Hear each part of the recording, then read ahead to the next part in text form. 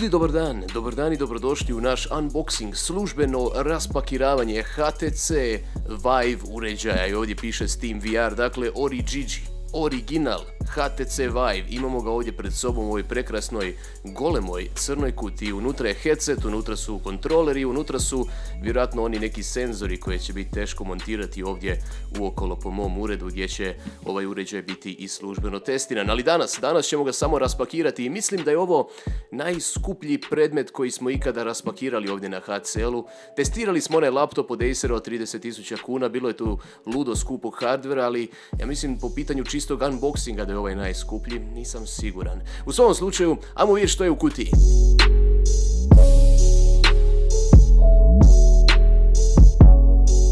Oho, kaže get started ovdje, vive.com kroz setup i dobijete ovaj nekakav komad papira prije svega. Pa super, hvala na velikom komadu papira. Ovo sam platio 1000 eura, dobro nije baš koštao 1000 eura, ali da, već ste navikli da dobivamo puno stvari ovdje na HCL-u od razno raznih proizvođača hardvera i tako dalje. Ovaj smo dobili u zamjenu za novac. Uglavnom dobio sam u zamjenu za novac eh, Get Started Guide ovdje. Eh, aha, i ovdje imate hrpu instrukcija kako tu stvar uopće spojiti. Kao što vidite, ima tu dosta kabela, senzora i raznih stvari. Nije tako lako spojiti virtualno iskustvo. No, PlayStation VR je dosta lako spojiti, po mom iskustvu prijašnjim. I pričat ćemo više o PlayStation VR-u ovih dana, ali to nije danas tema. To mu je glavna konkurencija ovom ovdje HTC Vive-u, pa nećemo sad o konkurenciji pričati. Ali vidi šta dobiješ odmah u startu. Ove krasne kontrolere. Nisam probao još Oculus Touch, nedavno je Oculus Rift dobio svoje ovakve kontrolere, osjetljive na pokrete e, ruku i izgledaju mi simpatično, maleno, možda čak i bolje od ovoga, ali ove sam već probao. Ne samo da su ergonomski savršeni i kvalitetom izrade fantastični, već i dobro izgledaju, ja mislim, lijepo sjedaju u ruci i pružaju ponajbolji tracking eh, vaših pokreta u VR okruženju. Definitivno bolje od onoga što nudi PlayStation VR, ali opet PlayStation VR je duplo jeftiniji, a svakako nije duplo lošiji od ovoga. No, ovih dana ćemo to testirati malo podrobnije, jer vidite, već sam probao HTC Vive, ovaj uređaj ovdje, već nekoliko puta na razno raznim sajmovima, ali nikad ga nisam imao ovako osobno na duže vrijeme. A sad ću ga imat na malo duže vrijeme, pa ćemo vam reći kakav je i pogotovo u usporedbi sa PlayStation VR-om koji uskoro izlazi. Da vidimo što je ovdje. Ovdje je nešto zanimljivo, aha, to su ti senzori zapravo, u, pogledaj kako se sjaje, ovdje možete vidjeti moj masivni reflektor, kao i otiske mojih masnih prstiju na ovom, e, da. Uglavnom, e, ovo je senzor koji morate spojiti dijagonalno, znači u jedan kraj sobe, znači recimo da je ovo vaša soba u kojoj ćete igrati, jedan bi išao ovdje, a drugi ovaj eh, ajde izađi, bi bio ovdje. I onda tako nekako biste ih trebali spojiti, vi ste u sredini naravno ovdje negdje i onda će vas ovaj headset ovdje znati e, pronaći. Ovdje kao što vidite ispod imate rupu za montažu na jednom i drugome i mogu se montirati očito i s ove strane i ispod. Nisam još imao iskustva sa montažom svega ovoga jer kao što sam rekao probao sam ovo samo na raznim sajmovima tako da nisam još to probao sam setapirati. Idemo mi polako na glavnu zvijezdu šova, na sam HTC Vive headset. Čekaj malo, čovječ, ovaj najlon je tako profinjen. Točno se vidi da ova stvar košta 1000 eura, čak je i najlon profinjen. Uglavnom, ovo je HTC Vive headset i držim ga naopako. uglavnom, dosta ružnjikav headset ja bih rekao, ako ćemo biti iskreni, ima sve ove rupe po sebi, ali znate sve te rupe služe svrsi.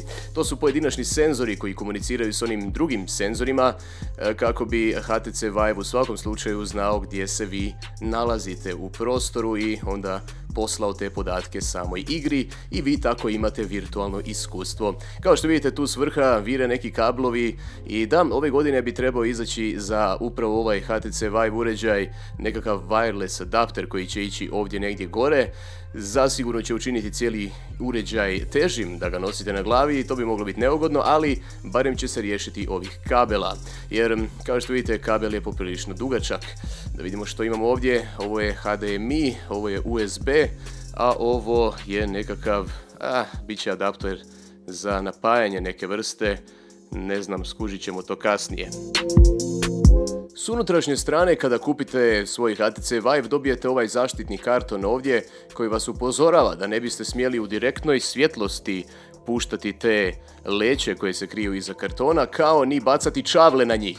Ne znam ako to sad vidite, ali ovdje su ilustrirani čavlići. Nisam ni mislio, gospodo iz HTC-a, bacat čavle na leće, ali hvala što ste me upozorili. Interesantno ovdje ima nekakav kotačić za podešavanje, pretpostavljamo štrine prikaza ili podešavanje udaljenosti leća ili tako neke stvari, nisam siguran, nisam to koristio do sad, a osim toga ovdje imate malu kameru zaštićenu ovim plastičnim pokrovom koji ćemo sad skinut. Ops, ovdje kamera dam i ta kamera je dosta korisna zapravo, zato jer vam dopušta da vidite van dok nosite HTC Vive na glavi, tako da znate kad ste prošli kroz određenu virtualnu barijeru. U principu štiti vas da si ne srušite televizor, jer dok ste u VR-u mogli biste si umisliti da ste stvarno tamo negdje među dinosaurima ili ne znam kakvu već igru igrate i onda poče trčat i razbi televizor ili drugi neki komad pokućstva.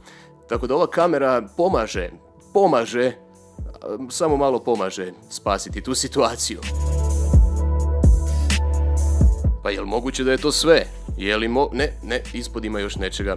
Pa da vidimo čega ima. Na primjer, imamo Base Station Mounting Guide. Dakle, u ovom tu i ovaj pucketav. To je onaj pucketavi. Čekaj malo, čekaj malo. dakle, ovo ćemo pustiti sa strane i... Ajo, Ma joj, popucao sam ga cijelog, nećemo više, ostavit ću si malo za kasnije, ali u svakom slučaju dobijete, dakle, Base Station Mounting Guide, na onom papiru, tamo ćete naučiti kako postaviti ovo na zidove i na to ćete kasnije namontirati one senzore. Uglavnom, ok, djeluje jednostavno, to jest baš i ne djeluje jer izgleda kao da ću morat bušiti zid, ali dobro, naučit ćemo iz ovoga kako se to radi i kako to funkcionira. Hvala HTC na uputama, baš će mi dobro doći. Base Station Mounting Guide, ljudi. Base Station, zamisli. Kupiš VR i moraš montirati nekakvu bazu. E, još malo onog profinjenog najlona, skupog najlona, to mi se sviđa. Ovdje neki kabel, djeluje kao USB kabel, nećemo ga otvarati. Ovo tu djeluje kao, op, op, što je ovo? Strujni adapter, da, strujni adapter, dame i gospodo strujni adapter koji ne ide u naše utičnice, čini mi se. Da, ovo djeluje kao UK adapter, čini se ću mora da, ovo je isto UK adapter. Ah, ok, da, da. morat ću nabaviti adapter koji će e, spojiti to na naše utičnice. Ovo je još jedan kabel, još jedan USB, još jedan USB i mini USB, to jest mikro USB na kraju. Dakle, USB na mikro USB, ništa toga neću vaditi jer je sve fino ovako e, zatvoreno. Jedan ogroman kabel nisam siguran čemu služi, vidjet ćemo kasnije. Onda još jedan kabel su još jednim strujnim adapterom koji meni uopće ne odgovara. Ovo će biti zabavno, pogotovo ako svaki base station treba svoj strujni utikač, to će biti jako zabavno. Jer eh, to su dva strujna utikača za svaki base station i onda još jedan za sam HTC Vive najvjerojatnije. Ok, tri komada samo za jedan VR uređaj, inače za PlayStation VR vam treba samo jedan. I da, da, ovo je drugi strujni adapter, također UK, što znači da ću morat nabaviti još jedan adapter za naše ove klasične evropske utičnice. To će biti veselo.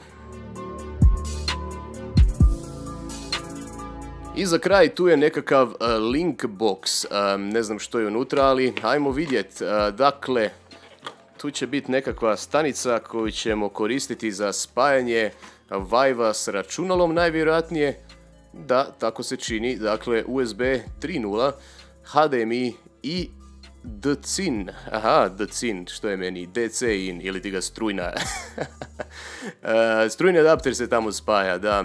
Onda ovdje imamo još jedan, kako ja kažem, očito DCIN, odnosno strujni adapter. USB, što je ovo uopće? Ah, nema veze, uglavnom HDMI i mislim da je ovo DisplayPort. U svakom slučaju možete spojiti ovako HTC Vive na nešto, ne znam, ne znam, malo je kompleksan Vive za spojiti, ali a mislim da kužim otprilike kako to funkcionira, ali ne želim reći još jer nisam siguran. U još jednom komadu profinjenog najlona dolazi, čini mi se još jedna spužvica za staviti ovaj, kao zamjenska spužvica za sam vizir, za sam VR headset. jer treba će vam, čini mi se, još jedna spužvica, jer ta spužvica je možda i najnekvalitetniji dio samog HTC Vive-a, takav dojam sam barem dobio kad sam ju malo onako pipkao. Da, pipkao sam spužvicu, to je ispalo čudno. Ah. Uglavnom, eh, Safety and Regulatory Guide, se baca odmah u smeće. Uglavnom, e, to je više manje to što se tiče unboxinga HTC Vive-a, iza još ima nekih kabelića, ajme, meni ima ih previše, mislio sam da je to to, ovdje još jedan USB, čekajte, nešto mi je palo na pod. Na pod mi je palo ovo, ima, ma sad me zanima što je to, ajde, ovo je prva stvar koju ću baš otvorit, baš onako otvorit, ajde, da vidim što je unutra, je to mali headset nekakav, da, čini se da je to mali headset, kako da ga izbacim van sad. A, izađi van. Ok, čekaj, čekaj, čekaj. Da, definitivno in-ear headset. Mm, izgleda solidno, jedan od onih malo čudnih dizajnova, vidite izgleda kao da je polomljen, ali nije, tako je dizajniran zapravo. I da, dobijete mali in-ear headset, isto kao i sa PlayStation VR-om. Dobro, čega još ima unutra jer još osjećam težinu u ovom pakiranju, u tom link boxu. Čovječe, sve ove stvari će mi se pomiješati na kraju. Ajme, meni je ovo još jedan adapter. A mislim i taj link box treba svoj adapter, ima smisla. Tako da, još jedan adapter ljudi za taj link box i onda još jedan USB kabel i vjerojatno iz druge strane micro USB.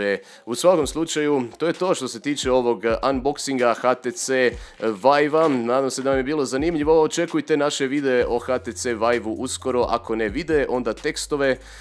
Um, Biće svačega uglavnom. Sad ćemo ga malo testirati ovih dana. Treba će nam neko vrijeme da ga testiramo jer ovo smo nekako uzeli neplanski jer uskoro izlazi taj PlayStation VR i znate već da ga mi imamo već neko vrijeme i stvarno smo zadovoljni sa njime i jednostavno smo htjeli direktno usporediti ponudu igara i kvalitetu hardvera e, PlayStation VR-a i HTC Vive-a kao skupljeg uređaja koji je nekako se postavio kao najkvalitetniji VR uređaj koji trenutno možete kupiti. I stvarno tako i je jer ima najbolji tracking sustav i Ah, najskuplje na kraju krajeva. Dobro, čak je Oculus Rift i skuplji ako uzmete sve one kontrolere dodatne, ali Vive djeluje kvalitetnije. Ujedno je i najružniji i možda čak najneugodniji. PlayStation VR ne samo da je jeftiniji, već je dosta ugodniji za nositi onako duže vrijeme. No, više o tome pričat ćemo kasnije. Za sada hvala vam lijepa što ste pogledali ovaj smotani, blesavi i opušteni unboxing video. Znate već kako mi to radimo ovdje na HCL-u